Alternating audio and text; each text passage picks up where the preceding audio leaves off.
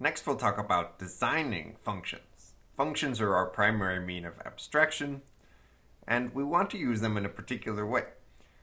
So, programming languages didn't always have functions. Originally, you just wrote lots and lots of statements, maybe with some go to statements that told you what statements to execute next. But this idea of having pure functions with inputs and outputs wasn't always accepted as the right way to program, but now it universally is. It's just certainly the right thing to do. So, characteristics of functions can help us describe what sort of function we're going to define. A function's domain is the set of all inputs it might possibly take as arguments. A function's range is the set of output values it might possibly return.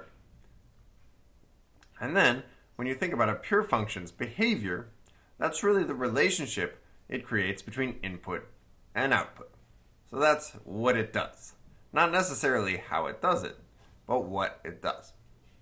So it's a good idea to think about these three things when you're asked to define or implement a function. Let's look at a couple of examples. So we've defined a square function before, which returns x times x, given an argument x. And we also recently looked at the choose function, which returns the number of ways to choose d out of n items. So if you're given either of these and asked to implement it, you should think about the domain, the range, and its behavior. The domain of square is that x just has to be any number, real number. Whereas the domain of choose is much more restrictive. So n and d are meant to be positive integers, and n is greater than or equal to d. Otherwise, you can't choose d out of n items. A function's range is the set of output values it has. So square will always return a positive real number, whereas uh, choose will return a positive integer. So as you're defining it, you should make sure you're returning those things. And then the behavior is very similar to the docstring. So the behavior of square is to return uh, the square of the input, and the behavior of choose is to return the number of ways to choose d out of n items. So just think about these three properties. And then there are some other things you should think about when defining functions. So here's a little guide to the most important aspects of defining functions effectively. And the reason I say effectively is that there are lots of ways to define functions, but some of them are easier for other people to understand than others.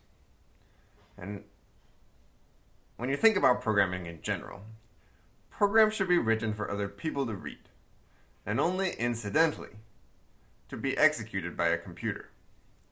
When you define functions, you're defining them in such a way that you structure your program so that people can understand it.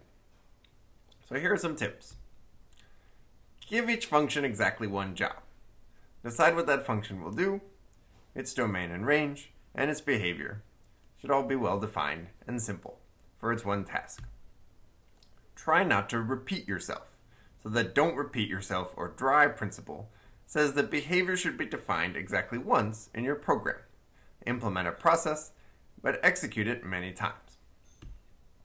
And you should try to define functions generally, so that you don't have a lot of different versions of the same thing. Instead, try to write just one function that does the job that you want to do. So as illustrations, scissors are the kinds of model you want to think about when you're defining a function. They're really good at cutting stuff. That's their one job. A Swiss Army knife is good at doing lots of different things in lots of different ways, that's not a function. That's something else. Don't repeat yourself. Yeah, I don't know what to say about that. Uh, defining functions generally. Well, here's all the different electrical outlets that I could find in the world. There are probably many more. But the point is that when the world went about defining how you plug a cord into the wall, they came up with a lot of different solutions that are largely incompatible with each other. And so the wall socket function in the world is not defined generally. It doesn't work with lots of different kinds of cords. And that's not something you want to aspire to. You'd much rather just have one solution to the problem and always use that.